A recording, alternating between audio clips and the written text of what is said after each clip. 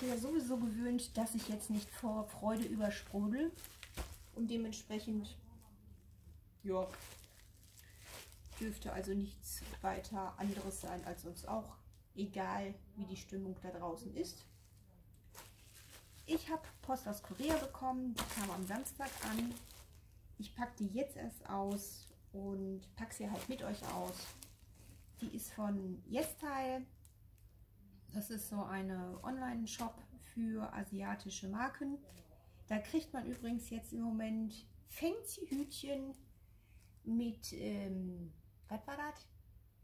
Plastik, so ein Plastikschutz vorm Gesicht, so, so ein Schild halt, so ein Plastikschild. Ja, ich denke mal, das wird die Mode der neuen Jugend oder so, die neue Mode der Jugend. Obwohl mein Sohn sagt nein. Wie auch immer. Jedenfalls ähm, habe ich da Sachen hergekriegt, da warte ich schon seit Wochen drauf und die wollte ich euch jetzt zeigen. Hm?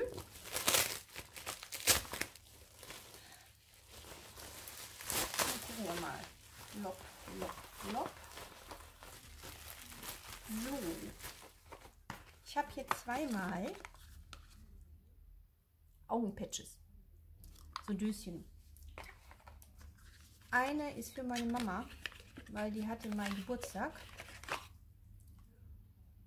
Und ja, sie ist eben noch älter als ich. Überraschung, weil, ne? Jetzt gucken wir mal eben, ob ich das hier aufmachen kann, ohne irgendetwas zu zerstören. Ich denke schon. Also da oben drin ist noch so ein Spatel, damit ihr das rausnehmen könnt. Nein, ich will das nicht aufmachen, weil, wie schon gesagt, ist für meine Mama. Und ich habe noch welche offen. Und dementsprechend, ähm, nee, möchte ich im Moment noch das zulassen. Die zweite Neue. Aber da ist eben mit Snail. Also mit, ähm, ihr wisst schon, das Zeug, ne? Von den Schnicken, Schleims. Da steht Gold Snail Hydrogel Eye Patch is a soft hydrogel tube for excellent moisturizing, ihr wisst mein Englisch, nurturing, nutrient and when attached to skin it will provide elastic to tired eyes. Ihr wisst Bescheid. Vielleicht kriegt ihr es ja hin, das zu übersetzen. Also es soll die armen Augen halt feucht machen und nett zu den Augen sein. So war es gedacht. Die Firma kenne ich tatsächlich nicht. S-Folio, von denen hatte ich noch nichts.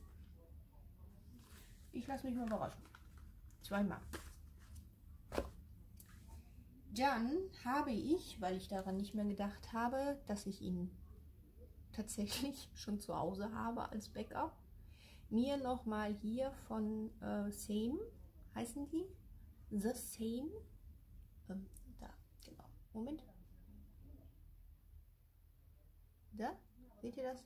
The Same, ein Tippix bestellt, der also, ist ich super. habe mir von The Same hier diesen Concealer geholt.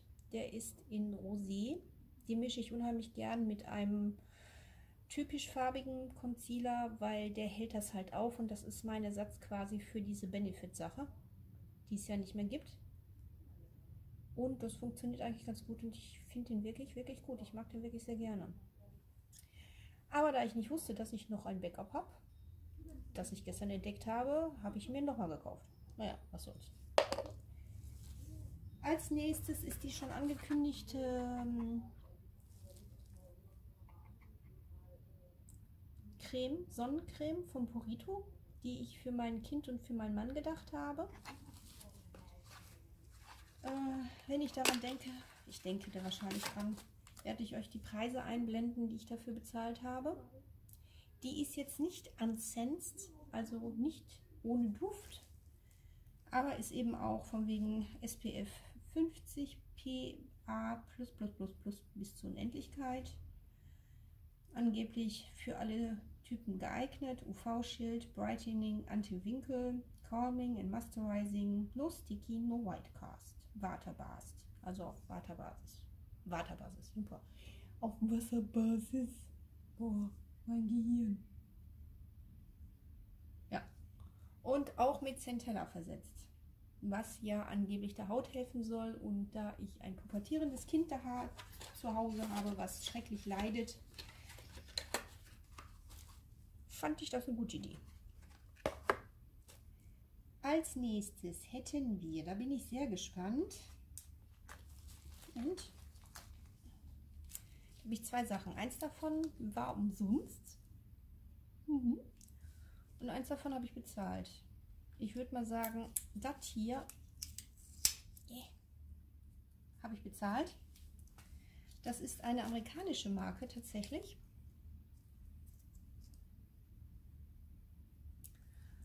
Ähm, die mittlerweile ziemlich viele Sachen, also der, der Shop hat, hat mittlerweile relativ viele ähm, amerikanische Sachen übernommen, also amerikanische Kram. Und der gehört dazu und das soll ein sehr, sehr heller Pencil sein, den ich haben möchte für meine nicht mehr wirklich gut vorhandenen, nennt sich das, Lippenform. Tja, hätte ich als Pubertierende oder als Kind daran gedacht, nicht meine Lippen zu verfleddern und damit meine quasi meine Lippenumrandung zu töten, müsste ich jetzt sowas nicht benutzen, aber ich habe es getan und dementsprechend, oh, der ist super. Der ist super hell. Ja. Geil. Ja, jetzt noch funktioniert. Ja, ich habe meine Hände gerade eingecremt. Das war natürlich jetzt ganz geschickt. Aber ja. Ich weiß nicht, seht ihr was? Das ist super. Das ist klasse. Damit kann ich meine Lippen halt, also meine Lippenform ein bisschen wieder korrigieren von außen und nicht von innen. Das freut mich, dass das funktionieren wird. Das ist gut. Dann, ich glaube, das erzähle ich jedes Mal, äh, wenn man schnell ist und morgens relativ früh bestellt, nämlich die um 4 Uhr, meine ich ungefähr, äh, kommen die Sachen immer von denen auf Instagram. Es ist, hat auch manchmal seine Vorteile, dass man so schlaflos ist. Ja, jedenfalls, wenn man relativ früh bei denen auf der Instagram-Seite äh, guckt, haben die immer ein, eine Sache für umsonst. Das kann wie das hier ein Lipliner sein. Ist das ein Lipliner? Nee, ich glaube, das war kein Lipliner. Das war ein ja. Ähm, ah ja, ein Pencil-Gel-Liner. Also kein Lipliner. Gott sei Dank, weil, Moment. Oh Gott, Frau. Das hier so ein rötliches Braun ist. Ein Kupferton, würde ich sagen ja, ein Orange. Sehr hübsch. Also es ist ein Gel-Eyeliner, der war umsonst. Die haben immer so 150 Stück von dem, was auch immer sie dort anpreisen. Also es kann alles sein. Ich habe schon Söckchen gesehen, Seifenschalen, ähm, Schminke halt, Mützen. Kommt drauf an, was sie gerade da eben stehen haben. Und ja, das war zu dem Zeitpunkt, als ich das bestellt habe, das Goodie, was man eben per Instagram oder über ihre App halt bestellen könnte. Äh, ich kann euch noch hier so ein Ding da reinsetzen, während ich hier dumm rumwedel, wedel, wedel, wedel. Und ähm, so, ein, so eine Abkürzung. Und wenn ihr die Abkürzung nimmt, da gibt es so eine Gutschein-Dings, dann könnt ihr 5% sparen und ich glaube, es funktioniert auch oft mit diesen anderen schon vorhandenen Sparcodes, aber manchmal nicht, manchmal ja. Also wenn ihr nichts haben solltet, womit ihr sparen könnt, könnt ihr versuchen, ob ihr damit obendrauf nochmal 5% bekommt oder halt, ähm, wenn ihr gar nichts habt auf der Seite zum Sparen, kann man halt diese 5% benutzen. Ja, ich würde auch davon was kriegen. Ich weiß nicht, werdet ihr damit sterben, gebt ihr ein Stück eurer Seele damit ab. Keine Ahnung, ob ihr ihn benutzt oder nicht, das ist eure Sache. Ich setze auch den Link dementsprechend, der dann quasi sofort dahin führt, wohl, setze ich auch daran. So, Ja, ich bin kommerziell. Oh mein Gott. Tötet. So, abgeschlossen. Ja, ich bin heute wieder sehr lustig. Hahaha. Ha, ha. Als nächstes hatte ich, weil ich irgendwie den so und so Betrag überstanden habe, die da noch gekriegt. Diesmal ist es kein Pendant, diesmal ist es ein Waschbär. Und der Waschbär Refining Deeply Moisturizing, also auch Feuchtigkeit, wie ihr seht. Feuchtigkeit. Das ist hübsch. Ich weiß immer noch nicht, ob die Maske auf der Maske drauf ist. Also ob ich dann aussehe wie das da. Weil ich bis jetzt von denen noch keine benutzt habe. Mhm. Ich will sie immer abends benutzen, aber dann ist mir zu kalt. Toll, oder? Jo. Und als allerletztes habe ich mit einem wirklich dämlichen Aufkleber, ich hasse das, hätten die den nicht, ich meine, das muss doch nicht sein, oder? So scheiße. Das ist ein Blush, Ladies. Einer, der noch zu ist. Und die Farbe ist, ähm, ja, genau. Ähm, Honey Yellow heißt der. Also den so Yellow habe ich ihn mir gar nicht vorgestellt. Aber ich war neugierig und ich kriege ihn nicht auf. Gut, dann machen wir einmal hier. Schnipp, schnapp.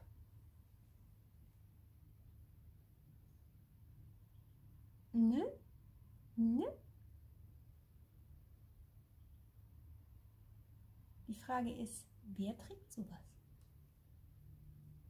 Ich hatte ihn irgendwie, ich weiß nicht, ein bisschen anders vorgestellt. Naja. Und das war es eigentlich schon. Ja, es ist jetzt nicht wirklich viel, was ich eingekauft habe, gebe ich ja offen zu. Es ist nur das. Augenpads. Übrigens, da sind 60 Stück drin, Leute. Nochmal. Wenn ihr Augenpads mögt, wirklich mögt, dann kauft euch einfach so eine Dose. Stellt die in den Kühlschrank und dann zwischenzeitlich holt ihr euch so ein Pad raus. Die schlabbern da vor sich hin und packt sie euch unter die Augen und ihr kommt damit zumindest, also wenn ihr jeden Tag eine benutzen würdet, würdet ihr einen Monat damit auskommen und bezahlt, weiß nicht, 15 Euro ungefähr zwischen 10 und 15 Euro, kommt drauf an, was man gerade erwischt und wo man was erwischt. Natürlich gibt es auch noch teurere, aber ne, dann überlegt mal 30 Paar in Einzelverpackung. Hier habt ihr sie in Dose. Das ist schon ziemlich cool. Hm. Appell. So was ist gut. Obwohl man weiß ja nicht, wie die nächste Zeit hat mit dem Versand und mit dem Schicken und mit dem, ne? Wohin sich die Welt entwickelt, das wissen wir ja alle nicht. Aber falls sie noch einigermaßen so sein sollte wie vor dem ganzen Corona-Entsetzen, ne? praktisch. Also wie schon gesagt, zweimal. Dann eine Sonnencreme. Wie schon gesagt, da man ja nicht weiß, wie, wohin sich die Welt entwickelt im Moment, bin ich jetzt gar nicht traurig drüber, dass ich die auch noch bestellt habe, während ich beim letzten Mal ja schon eine dabei hatte. Ne? Weil Sonnencreme braucht man immer. Ähm, den liebe ich, wie schon gesagt, sehr. Der ist wirklich gut. Also nochmal, wenn man noch normal bestellen kann und auch normal die Sachen bekommt, sollte. Der ist wirklich eine Empfehlung wert. Ich kann dir ja mal kurz den offenen holen. Moment. So. Das ist meiner, den ich im Moment in Benutzung habe. Und hier seht ihr die Farbe. Also ich knall mir sowieso nicht so viel Concealer drunter, weil sich sonst aussehen würde wie eine Porzellanpuppe mit aufgesplitterten äh, Porzellan, ähm, also mit ihrer Aufmalung, so ein bisschen zersplittert, weil ich bin alt und ich bin trocken. Aber wie ihr seht, das Zeug ist schon, ne? Da kann man nicht meckern, oder? Also das ist der Brightener, deswegen auch rosa. Den mische ich halt mit einem, mit gelblichen Concealer oder mit einem dunkleren Concealer. Und ähm, das funktioniert eigentlich ganz gut. Das habe ich schon mit dem Benefit-Ding gemacht. Alleine würde ich sie halt nicht machen, weil dann doch alles irgendwie nicht so super aussieht. Aber ähm, zusammengemischt finde ich, die, find ich die Kombination wirklich geil. Ja, also dementsprechend freue ich mich.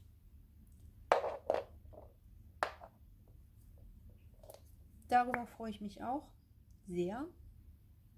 Ich finde das total klasse, Leute. Der ist richtig hell. Ja. Mundwinkel. Wir tun so, als hätten wir keine zerfledderten Munddinge. Ja, super. Ja, und der hier finde ich, das ist eine Überraschung. Ich war ja ein bisschen knatschig eigentlich, aber die Farbe ist schön, ne? Also es ist so ein, ich hatte, es hat auch Goldsprenkel drin. Ich weiß nicht, seht ihr das? Das ist so ein, ich weiß nicht, ein dunkles Bronze, aber hübsch, gefällt mir. Und er ist so weich, dass ich ihn benutzen kann, weil eigentlich bin ich dabei, jegliche festen Eyeliner bis auf schwarz und ein paar helle für im, in, in der Wasserlinie äh, auszusortieren, weil ähm, ja, Krokodilaugen kann man auch bis in die vierte Linie ziehen, weiß ich nicht. Also kannst du bis zur Unendlichkeit ziehen. Und trotzdem hubbelt man über die Falten und dementsprechend kannst du dann mit einem relativ festen Eyeliner nichts mehr anfangen, weil das sieht einfach nur blöde aus. Du hast da irgendwie Lücken zwischen und überhaupt. Und ich bin sowieso die Königin des, der perfekten Eyeliner. Man frage, Frau Unfug. Ja. La la la. Wie schon gesagt, ich hoffe, wenn die letzte ähm, die letzte Dings ankommt. Ich hatte ja letzten Monat halt so ein Dreier-Ding, wo ich dreimal bestellt habe, weil ich eine an der Waffel habe.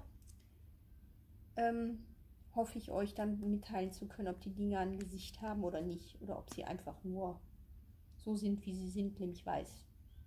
Gut, das war's. Es war mal wieder nee, ein ganz tolles Video. Nicht wahr? Ja. Damit sage ich Tschüss, Leute.